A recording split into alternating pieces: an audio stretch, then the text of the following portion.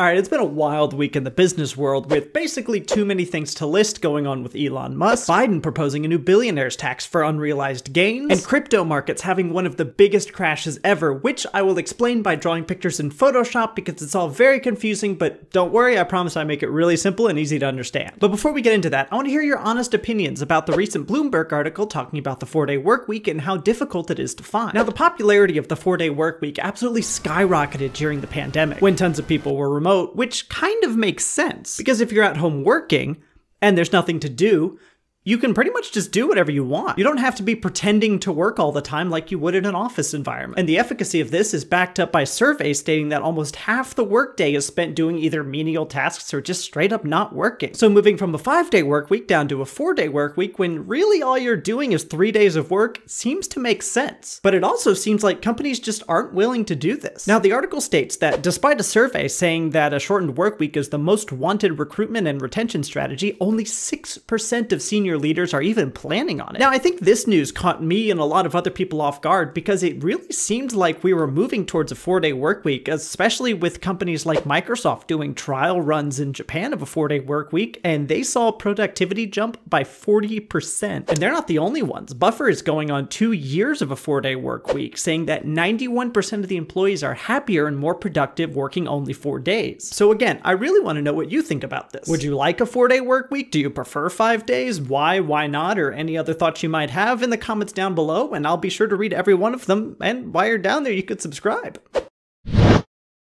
Next, let's talk about Tweet Daddy Elon Musk's big ticket Twitter takeover and how it's not happening? There's really too much going on with Elon and Twitter to give you any kind of a good overview quickly, but most recently, Elon stated that he was going to fire a ton of Twitter staff, force companies and governments to pay for Twitter accounts, and possibly stop paying the board a salary entirely, claiming that would save about $3 million per year. But now it looks like our savior Elon from the clouds is getting cold tweet feed and possibly is flying the coop on the whole deal. Now his official statement on the matter, which ironically came in the form of a tweet, says, quote, Twitter deal temporarily on hold hold pending details supporting calculation that spam slash fake accounts do indeed represent less than 5% of users. Now this is significant because it's very important for advertisers to know what percentage of a social media's platform is made up of real users and what percentage is just bots. And that way they know how much to pay for advertising because really you're only going to get anything out of it if a real person clicks on the ad, not if you just get spam clicks from bots. So with 229 million active Twitter users, 5% would represent about a million and a half bot accounts that really are kind of useless can be disregarded. But with numbers this big, being off by just a few percent can result in millions upon millions of accounts being counted either as or not as bots, whether or not they actually are. And from a business standpoint, this absolutely makes sense to be worried about. Now, this announcement caused Twitter shares to absolutely tank by around 20% because investors who had bought Twitter stocks thinking that Elon Musk would purchase those stocks from them and they would make a profit are now worried that that's not going to happen. So they're selling off in mass just in case Elon completely pulls out of this deal.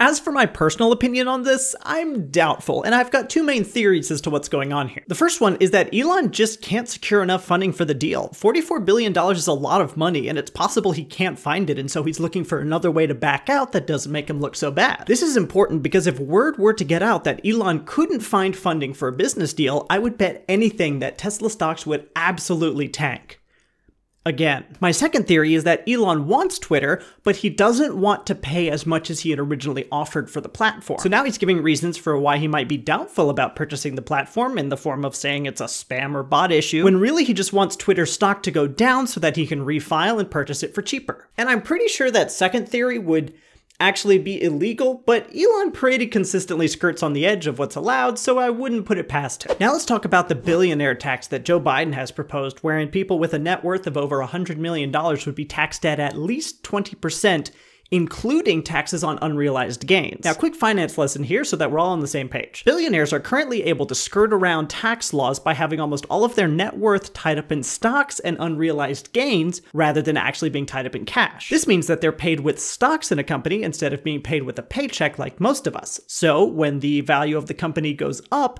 and that stock value increases, they're not actually taxed on that because they haven't sold the stock. The amount by which the stock goes up without being sold is called an unrealized gain. However, so as not to ever have to sell stocks, what they do is they will borrow money from a bank against their stock, basically saying that if they can't pay back the loan, then the banks are allowed to take the stocks. Now, this is really good for the banks because it's essentially a no risk loan that they can just give to the billionaire. And it's good for the billionaires because you're not taxed on loans because those aren't considered income because you have to pay them back. They're just loans. So Biden has proposed a bill where all of your net worth over $100 million, no matter what it is, is taxed at 20%. And this would be the first time ever that unrealized gains have been taxed, which is why this is such a significant move. So while this didn't technically happen this week, and as such kind of goes against the format of the show, with midterms coming up, I'm betting we'll hear a lot of talk about this, especially since it's very popular with people on the left. Now, this bill isn't without its criticisms, however, with Harvard graduate and economics professor Brian Bernberg saying, quote,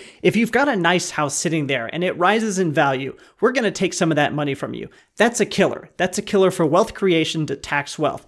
Europe tried it, it didn't work. There's no reason we should be trying it. And now for my personal opinions, the first thing I would say is $100 million is more than just a nice house. Even in the most expensive housing markets, you can get an actual mansion for well below a tenth of that price. So claiming that anybody could really have a nice house that would drive their net worth over nine figures just seems so unrealistic. However, the Europe comment is actually correct and very interesting to look at, in that in 1990, about a dozen European countries had a wealth tax, but now only three countries do. And that's basically because it just didn't work. However, one of the main reasons that it didn't work is in the European Union, you can pretty much just go from country to country and just move your wealth. So if the country that you're in is suddenly charging you 20%, you can just go to the country next door that isn't charging you 20%. Now, this would be a little more difficult in America because one, we're not part of the European Union, and two, Elizabeth Warren proposed an exit tax, wherein if you take your US assets and you try to move them overseas or just out of the country, then you would be charged at 40% of everything you're trying to move out, thus avoiding billionaires trying to just escape with their wealth. But honestly, for more details about how this all shapes up, we'll just have to wait and see. Now let's briefly talk about tech stocks being down, as they've crashed by about $1 trillion over the last week. And I say let's talk about it briefly because honestly, there's just not much to say here. Apple has lost $220 billion, Microsoft has lost $189 billion, Tesla lost $199 billion,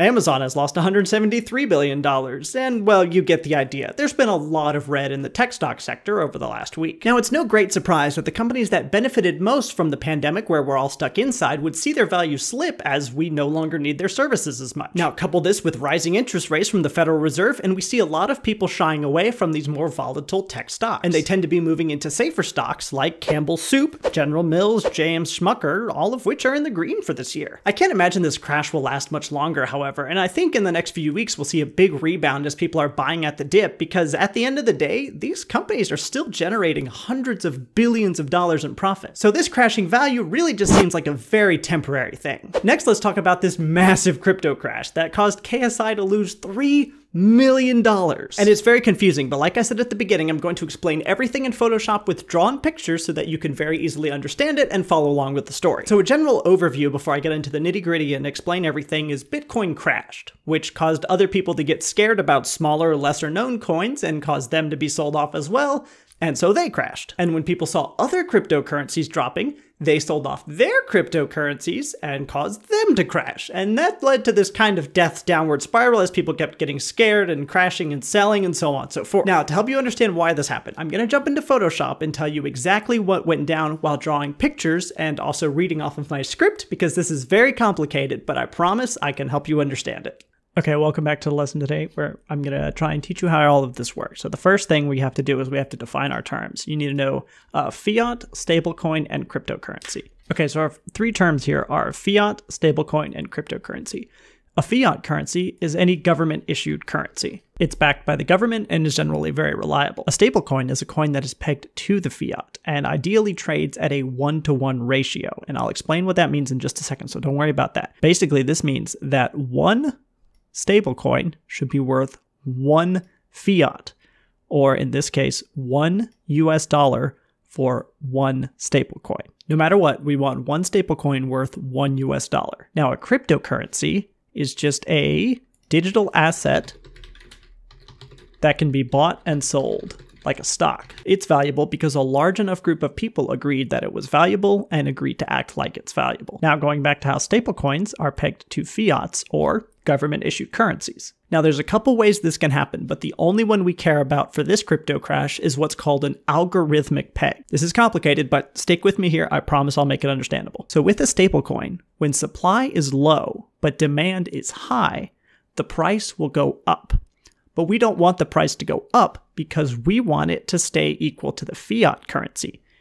If it's one stablecoin worth $1 and the price goes up, then it's no longer pegged to the dollar because it's now worth, say, $1.10. That's not what we want. So when that happens, an algorithm that controls the stablecoin allows you to trade $1 of the stablecoin for $1 of a cryptocurrency. And then you can sell that $1 of cryptocurrency for $1.01 of a fiat currency, in this case, the US dollar. Now, this causes you to profit this one cent right here. So this pushes people to sell their coins for a tiny profit when the price starts to go too high. And that brings the price down because now supply is able to match demand because people sold their coins for a one cent profit. Now, opposite of that, when supply is too big, and we'll make a new thing here, and demand is too small, so more people want to sell than want to buy, then the price of the stable coin goes down. However, we don't want the price of the stablecoin to go down because one stablecoin has to equal one US dollar, otherwise, it's not a stablecoin. So then, when this happens, the algorithm triggers another scenario where people can buy $1 worth of whatever cryptocurrency they're using for 99 cents, basically getting it at a 1 cent discount. That's a cent sign. So now people can buy $1 worth of cryptocurrency for only 99 cents. And this triggers people to start buying it because they're getting it at a discount, which leads to the supply going down as the demand goes back up, which then gets rid of this and causes the price to go back up, preferably to that $1 mark that we want to be seeing it at because we want it to be equal to our $1 of fiat currency. Again, that's real money backed by the government. This algorithm is constantly working back and forth with this cryptocurrency, either making it more expensive or cheaper, so that people will continue to buy and sell it for this stablecoin that will cause them to make money with the US dollar. And that keeps it at exactly $1 with the stablecoin. However, this stablecoin did what's called depegging, wherein people were selling it, and so the price went down to encourage people to buy it, but people were so scared of it continuing to go down that nobody bought it. They just continued to sell and sell and sell, even though they were taking those losses at one cent per coin sold. And as more people sold, the algorithm kept pushing this price down and down to try and make people stay because if they sold, they would lose the money. However, people were so scared that the whole system was coming down that they continued to sell at a loss fearing worse losses later, which they eventually got. So now that you understand, you need to know that UST is our stablecoin and Luna is our cryptocurrency. So people got scared and started selling UST for Luna in order to sell Luna for US dollars. Now, this caused the algorithm to make the price drop, like I explained in the Photoshop lesson, but people were so scared, they didn't care that the price dropped and they were willing to sell at a loss. And now the cryptocurrency Luna has fallen from $73 last week to just 4 one thousandths of a dollar this week. And UST fell from the $1 mark where it was supposed to stay and supposedly pegged down to around 18 cents. People saw this massive crash and they panic sold every cryptocurrency fearing this kind of snowball effect that would cause everything to tank. And this has triggered a huge crypto wide crash. That's the end of the episode for today, and boy howdy, what an episode it was. I would love to hear your thoughts on anything mentioned in this episode in the comments down below. Please subscribe if you'd like, and I will catch you all next week.